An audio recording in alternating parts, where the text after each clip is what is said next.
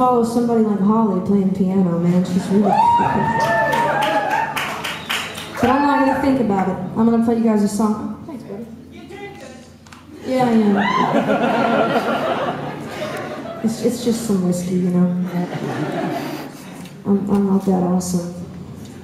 But I haven't been drinking whiskey on stage for a couple of years because I don't know. I started thinking that uh, maybe it was impairing my judgment. In other words, I was, I was tonight. talking shit. I am friends. so Okay, all right, I will. And you know what? This is interactive. Feel free to say what you need to say.